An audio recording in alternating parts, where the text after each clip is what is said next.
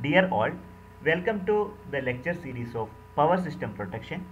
In this video, I will be discussing the overcurrent relay and the time current characteristics of overcurrent relay. Before starting the session, I have one request to everyone. If the content of this channel is useful, I request everyone to subscribe this channel and also kindly share with your friends and colleagues. Without wasting time, let's begin with the session. First of all, we'll understand what do we mean by overcurrent relay and uh, how about the overcurrent protection. You know that if the load current is very much high, that will be really harmful to the circuit elements. If the overloading is more means more amount of current flows to the circuit, definitely the components which are connected to the circuit is getting damaged. So to overcome that issue, we have to have overcurrent relay for any type of circuit and any type of system. So first of all let us assume that there is a preset value. Preset value means it's the safest value of current. So suppose if the load, uh, suppose when you connect a load, if the load and exceeds the preset value, definitely relay is going to operate. Such type of relays are known as overcurrent relay. There are different type of overcurrent relay such as electromechanical overcurrent relay, numerical type overcurrent relay, static type overcurrent relay. Numerical overcurrent relay will be having a program. Based on the program, it, it is going to operate. Where electromechanical based overcurrent relay works based on the settings. We need to have some PSM, PS, some initial settings should be required. And also it, there is there are moving parts in case of electromechanical relay. So overcurrent relay which is inculcated in different construction and different structure. And also we need to know the uh, what is a pickup value. So beyond once the load the pickup value obviously relay is going to operate. That means overcurrent relay is going to work once it crosses pickup value. One of the example is induction disk type overcurrent relay. This is basically an electromechanical relay. And also we can point out another example such as numerical relay also. There are various applications such as distribution lines in power system, then motor protection system, uh, then protection of power equipments against overcurrent. So these are the various purpose of overcurrent relay. Once the load is added, definitely the value of current, current draws is very much high. So if the uh, current draws are more than pickup value, obviously it is going to operate. If you want to study about overcurrent relay, then you need to understand the operation. To understand the operation, you are to familiar the time current characteristics. As you can able to see, these are the time current characteristics of overcurrent relay. Can you able to go through that? Yes, it is very simple. Uh, definite time overcurrent relay, instantaneous overcurrent relay, inverse time overcurrent relay, and IDMT, inverse definite minimum time overcurrent relay, then very inverse time overcurrent relay, and in continuation, extremely inverse time overcurrent relay. We need to have a brief information about the individual type of time current characteristics that will really help you to understand the overcurrent delay. Moving on to definite time overcurrent delay. What do you mean by definite time overcurrent delay? Can you able to assume? Yes, of course you can assume. You can imagine how definite time overcurrent relay operate. See, in case of overcurrent, in definite time overcurrent relay, uh, there will be always a predetermined time, maybe 5 seconds or maybe 10 seconds. And also, uh, once the load current exceeds its pickup value and once it reaches the predetermined time, the relay is going to operate. But the main issue is there is poor uh, selectivity. Selectivity is very much poor in case of definite time overcurrent relay. That means it never bifurcate high fault current and lower type fault current. Okay, so that it works based on only that predetermined time and uh, that particular pickup value. That's the main drawback of this particular type of relay. So definitely we need to have modification. That means operating time of the relay is constant irrespective of magnitude of current. Now you can able to identify so may, this may be 3 seconds. After 3 seconds it's going to operate like that. And also it is having a pickup value. So you can say I pickup, pickup current. So only this particular time it is going to operate. That's a major setback of definite time over current relay.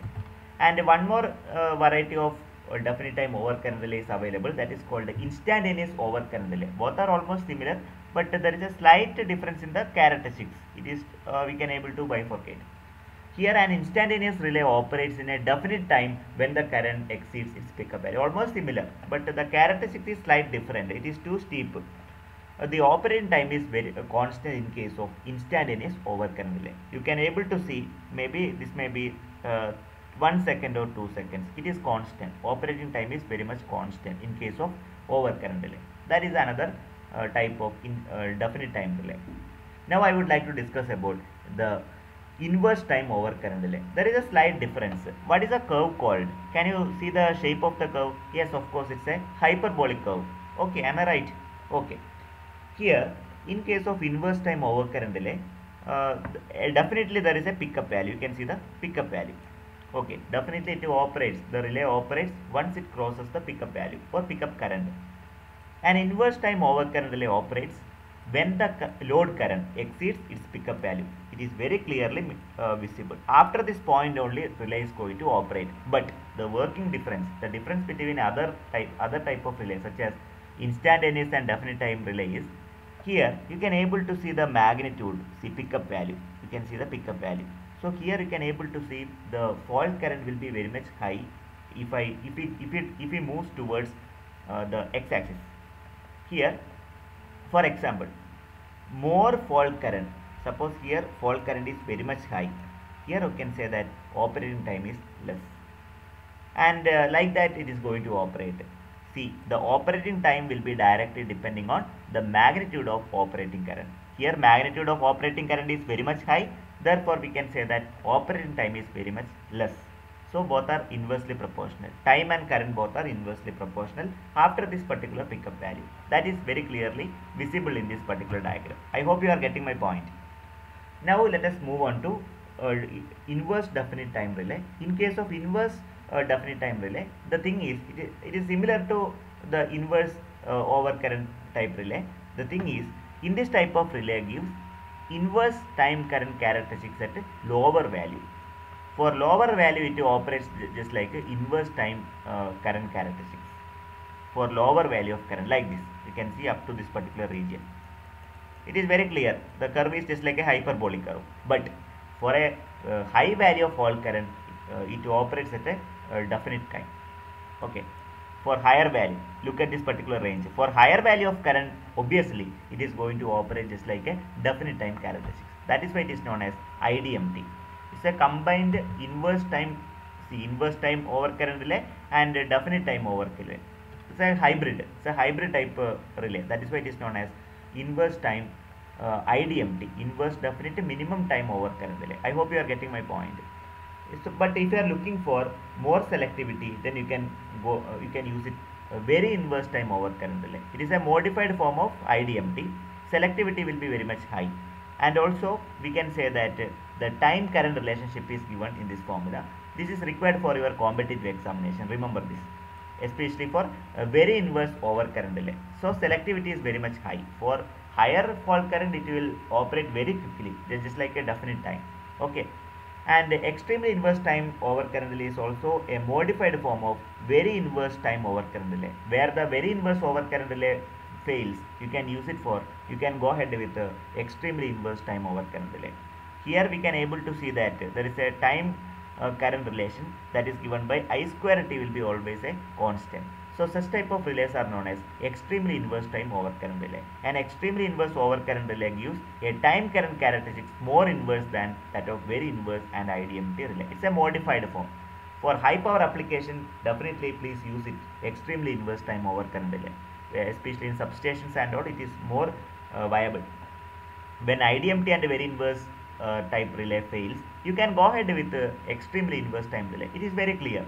It gives the steepest time uh, current characteristics. I'll show you the diagram. See uh, you can look at the extremely inverse time current characteristics. Because steepest curve is actually very much visible here where idmt can able to see it is not so uh, steepest. And very inverse time relays lies between the IDMT and the extremely inverse time relay. So anyway we can able to observe the characteristics. At a uh, high fault current it is going to operate quickly and uh, for lower range it will work just like a inverse current relay. And extremely inverse time over current relay is suitable for especially the protection of machines against overheating. Suppose if the load current is high definitely it results for overheating and these are the characteristics you can able to remember you can able to make a comparison between idmt very inverse and extremely inverse time uh, relay do you have any clarification? If you are having any clarification please put a comment. Thank you. These are my